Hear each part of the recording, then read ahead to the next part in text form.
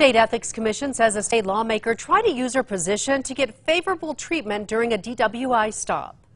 Like, I haven't had much sleep because um, I'm not trying to, like, say anything, but, like, I'm a legislator, so we haven't had much sleep.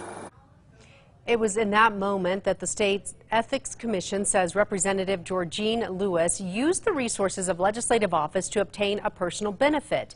They say that's a violation of the Governmental Conduct Act. Louis was arrested on Super Bowl Sunday for driving drunk in Santa Fe. Along with saying she was tired, Louis also showed the officer her official House of Representatives license plate. She will have to pay a $250 fine for the violation. She is not seeking re-election.